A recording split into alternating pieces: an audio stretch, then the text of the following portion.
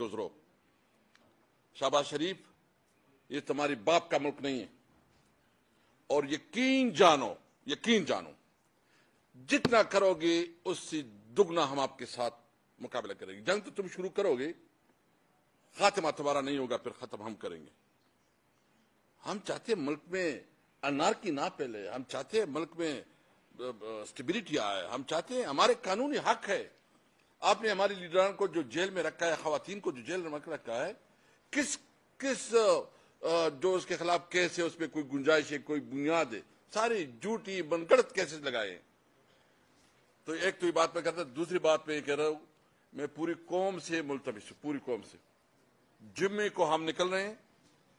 Media والوں آپ سے بھی ریکویسٹ ہے، کیونکہ آپ کے اوپر بھی جو ہے نا جو تالہ بندی آپ کے، اس کے اوپر ہوئے، زبان بندی ہوئی ہے اور جس طرح آپ کے ساتھ بھی سلوک ہوئے تو میں آپ کو بھی آفر کر رہا ہوں، دعوت دے رہا ہوں کہ جمعے میں، جمعے کو آپ لکھ لیں گے۔ میں وہ کلاسی بھی ریکویسٹ کرتا ہوں کہ جمعے کو نکلو، ملک کی آزادی کے لیے، آئین کی بحالی کے لیے۔ ملک عملاً آئین ماتل ہو چکا ہے۔ جو قیدی ہیں، جو ہمارے لیڈرز ہیں، اس کی رہائی کے لیے اور جو مہنگائی ہے، اس کے خلاف۔ اور امن و امان کی جو بدترین صورت ہے، اس کے لیے۔ میں مزدوروں سے، میں طلبا سے، میں تمام سیاسی پارٹیوں سے دیکھو، اگر آپ نے یہ سوچنا ہے کہ اس وقت طریقے صاحب مشکل میں ہے چلو، گزر جائے گی۔ ہوتی رہتی ہے حالات آتے رہتے ہیں، گزر جائے گی۔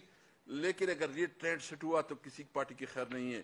میں تمام ان پولیٹیکل پارٹیز کو، جو کہ قانون پہ یقین رکھتی ہے، آئین پہ یقین رکھتی ہے، ہمارے جو جمعے کی دن کی جو ہماری اسٹرائک ہے، جو ہم نے ایک الائنس کی طرف سے کیا ہے، ہمارا ساتھ دیں گے۔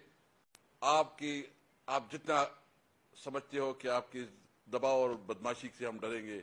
انشاءاللہ آپ کو جواب دیں گے۔